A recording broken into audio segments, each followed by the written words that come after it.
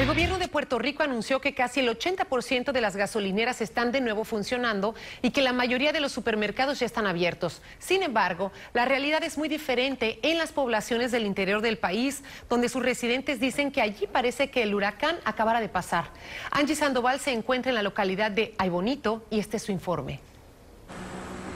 Desde el paso de María Aybonito ha sido todo menos eso. Aquí, como en el resto del interior de la isla. Esto ha sido increíble.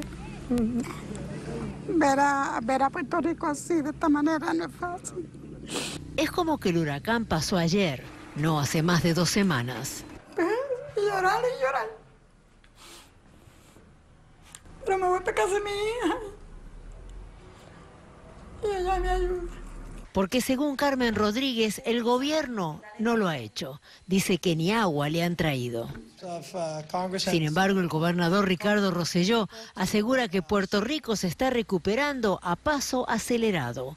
Promete que pronto el 25% de la isla tendrá electricidad y que ya se ha restablecido el 44% de las telecomunicaciones. Esto además del hospital flotante de la Marina que va a donde sea necesario, al igual que las misiones de la Guardia Nacional.